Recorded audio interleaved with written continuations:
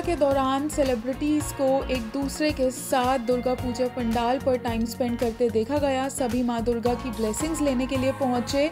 लेकिन last day पर Mukherjee sisters एक दूसरे के साथ सिंदूर खेला एंजॉय करते नज़र आए।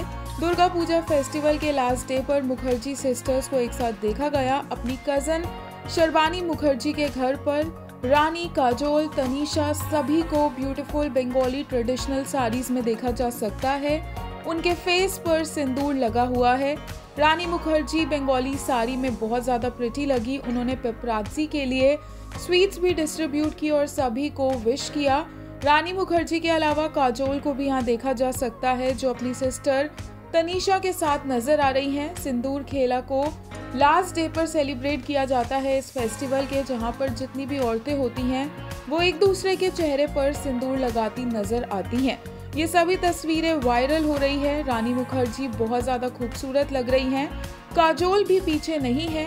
मुखर्जी फैमिली ने दुर्गा पंडाल का लास्ट दिन बहुत ही अच्छे से सेलिब्रेट किया। इन तस्वीरों से साफ़ पता चल रहा है।